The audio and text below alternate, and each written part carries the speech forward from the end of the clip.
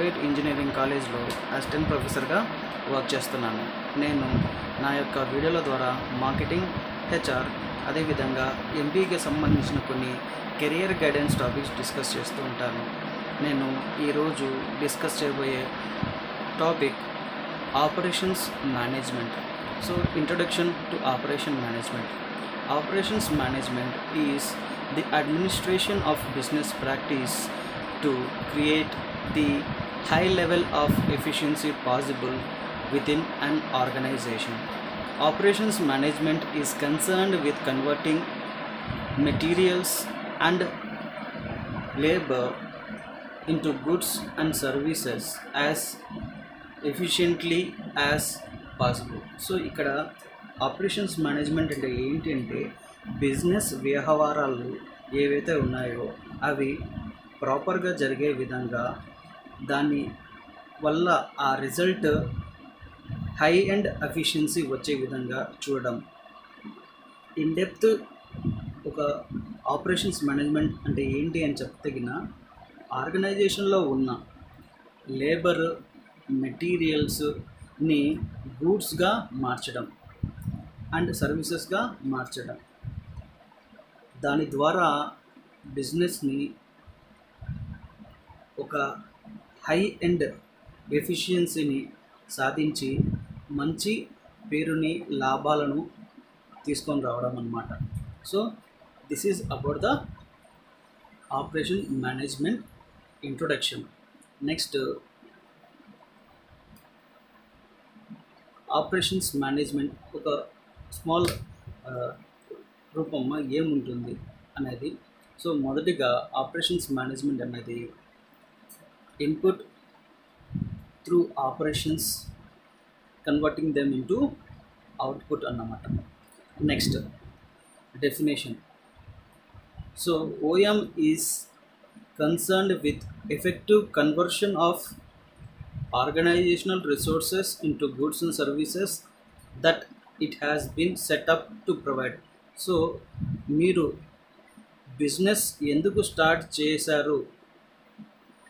అన్నదానికి operation management ఒక సమాధానం ఉంటుంది సో ఆపరేషన్ మేనేజ్మెంట్ అనేది ఎఫెక్టివ్ కన్వర్షన్ ఎఫెక్టివ్ కన్వర్షన్ అంటే మన దగ్గర ఉన్న రిసోర్సెస్ని ప్రాపర్గా యూస్ చేస్తూ మేము ఒక మంచి ప్రొడక్ట్ అండ్ సర్వీసెస్ తయారు చేయడంలో ఆపరేషన్స్ మేనేజ్మెంట్ యొక్క భాగము చాలా ఎక్కువ ఉంటుందన్నమాట. It is according to Burnett అనమాట ఈ డెఫినేషన్ ఇచ్చిన అతను బెర్నెట్ సో నెక్స్ట్ ఏంటి? Nature so one by one చూసుకుందామండి. First nature వచ్చేసి dynamic operations management is dynamic in nature it keeps on changing as per market trends and demand so ఇక్కడ ఏం చెప్తున్నారంటే కింద మొదటి నేచర్లో డైనమిక్ అని చెప్తున్నారు. డైనమిక్ అంటే టైం అనుసారము చేంజ్ అవుతూ పోవడం. So keeping upon the technological changes developments ఇవన్నీ దృష్టిలో పెట్టుకొని మా యొక్క మ్యానుఫ్యాక్చరింగ్ స్టైల్ మ్యానుఫ్యాక్చరింగ్ విధానము అన్నీ మార్చుకుంటూ అప్ అప్డేట్ చేసుకుంటూ ప్రోడక్ట్ యొక్క క్వాలిటీని ఇంప్రూవ్ చేసుకుంటూ వెళ్ళడం అనమాట నెక్స్ట్ నెక్స్ట్ వన్ వచ్చేసి transformational process operation management is the management of activities concern with the conversion of raw materials into finish goods so operations management యొక్క పని ఏంటంటే ట్రాన్స్ఫర్మేషనల్ ప్రాసెస్ అంటే రా మెటీరియల్స్ని ఒక ప్రాసెస్ ద్వారా ఒక ఫినిష్డ్ గూడ్స్గా తయారు చేసే ప్రాసెస్ నెక్స్ట్ నేచర్ వచ్చేసి continuous process so operation management is a continuous process it is employed by organisations for managing its activities as long as the continue their operations so operations management అనేది ఒక continuous process అనమాట so ఎప్పటివరకు manufacturing జరిగేంత వరకు ఆ manufacturing ప్రాపర్గా జరిగే విధంగా ఎటువంటి అంతరాయాలు లేకోకుండా జరిగే విధంగా చూడడం అనమాట నెక్స్ట్ వచ్చేసి administration so operation management administrates and controls all the activities of the organisation so ఇక్కడ లాస్ట్ నేచర్ ఏంటంటే కింద అడ్మినిస్ట్రేషన్ సో ఓవరాల్గా ఆపరేషన్ మేనేజ్మెంట్ అంటే మ్యానుఫ్యాక్చరింగ్ జరిగినప్పటి నుంచి ఆ మ్యానుఫ్యాక్చరింగ్ కంప్లీట్ అయ్యి ప్యాకింగ్ అయ్యి మొత్తం ప్రాసెస్ కంప్లీట్ అయ్యేంత వరకు చేసే వర్క్ ప్రాపర్గా జరిగే విధంగా అదేవిధంగా ఎటువంటి ఆటంకాలు ఇబ్బందులు కలుగకుండా చూడడమే అడ్మినిస్ట్రేషన్ వర్క్ అన్నమాట.